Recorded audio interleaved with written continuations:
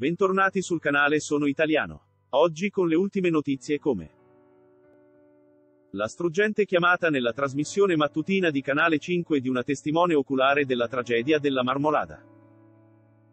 Sulla Marmolada si continua a cercare, con la speranza di trovare dei superstiti dopo che ieri un maxi blocco di ghiaccio si è staccato, travolgendo diverse persone in zona. Bilancio tragico, che potrebbe divenire ancora più drammatico nelle prossime ore, infatti si teme che dei dispersi, circa una ventina, in pochi, o forse nessuno, potrebbero avercela fatta. Il dramma è stato il tema portante della puntata di lunedì mattina di Morning News, Canale 5, talk timonato da Simona Branchetti. Durante la diretta la giornalista ha contatto una testimone oculare del disastro, Elisa Dalvit, la quale è stata protagonista di una chiamata straziante. In più frangenti Branchetti si è ritrovata a far fronte a silenzi dolorosi, rotti soltanto da singhiozzi. Nel talk, dove è intervenuto anche Mauro Corona, alpinista e scrittore noto televisivamente per le sue ospitate a Cancelletto Cartabianca, si è cercato di capire se la tragedia avrebbe potuto essere evitata oppure no.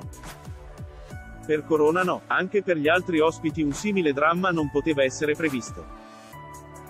Chi ha visto da vicino la morte è stata Elisa Dalvit, donna che ieri era in cima alla Marmolada, incordata con altre quattro persone.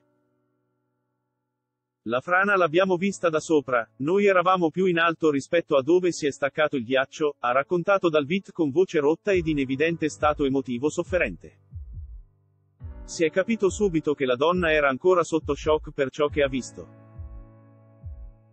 Ho nelle orecchie ancora quel rumore che non si può descrivere, lo stacco e le persone che volano. Non si può parlare di questa cosa, è riuscita ad aggiungere Elisa che poi si è ammutolita, vinta da un pianto straziante. Branchetti ha cercato di colmare il silenzio, capisco il suo dolore, immagino che abbia di fronte agli occhi quelle immagini terribili. Altro silenzio struggente, rotto soltanto da qualche singhiozzo. La giornalista ha così di nuovo colmato il vuoto, quando avete sentito questo boato. Elisa è riuscita a ritrovare un filo di voce ed ha proseguito nella sua agghiacciante testimonianza, c'erano persone che urlavano, via via. Ma nulla si poteva più fare niente. Altre lacrime lancinanti.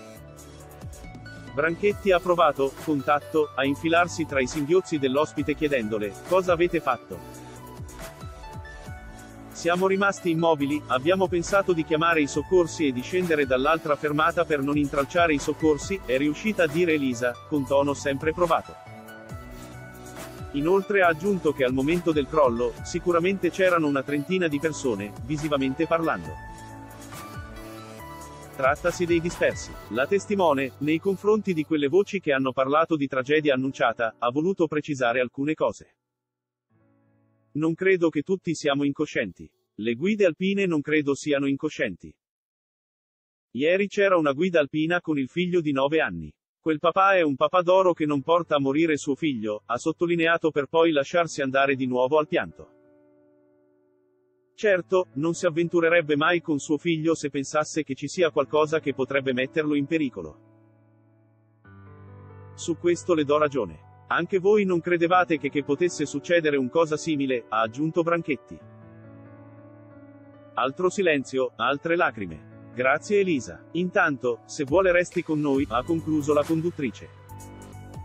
Grazie per aver guardato l'intero video. Metti mi piace e commenta la tua opinione in modo che possiamo discutere. Non dimenticare di iscriverti al canale per aggiornare le ultime novità prima di tutti. Arrivederci, ci vediamo al prossimo video.